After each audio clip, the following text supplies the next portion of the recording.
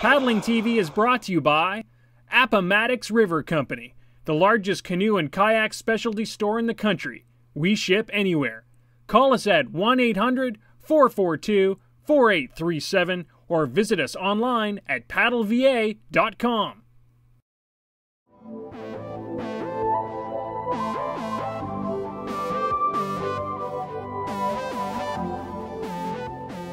An offside roll is just a roll that you do by sitting up on the opposite side from the one you're used to. It's a good skill to learn because in some river situations you just won't be able to use your regular roll, like when you're upside down in a hole or against a rock. The offside roll can also come in handy when your natural roll fails.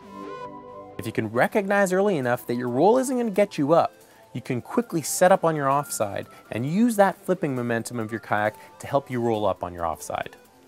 The biggest challenge with the offside roll is overcoming your weak side because every paddler has a strong side and a weak side. And the only way to get rid of your weak side is by practicing on it. The twist of your paddle can also make the offside roll more difficult because your leading wrist will be in a different position during the setup and catch phases of the roll.